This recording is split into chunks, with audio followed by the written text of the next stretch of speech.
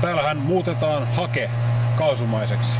Eli hake, puuhake muutetaan tuotekaasuksi ja tuotekaasu puhdistetaan, jäädytetään ja sitten se lopulta poltetaan moottorissa. Eli sekoitetaan puukaasua ja ilmaa ja tällä seoksella, se on palava seos, niin se moottori käy. Ja normaalisti moottori kävisi bensalla, mutta täällä on nyt eri, eri polttoaine. Eli siinä nyt on, taitaa olla jo palava se kaasu, niin voidaan siirtyä tonne moottoria käynnistämään.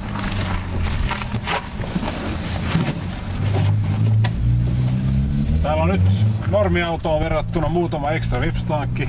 Tässä vaihdetaan puukaasu ja bensan välillä, että jos on tarve joskus loppuu puut pahassa paikkaa, niin, niin pystyy niin työntämään tän sisälle ja saamaan niin bensa, bensa käyttöön. Mutta semmonen periaate tässä kyllä on, että tällä ei bensalla ajeta. Et ihan, ihan puulla, puulla ajetaan ja katsotaan jos se lähtis. Kyllä tulee. Lähtis, lähtis liikkeelle.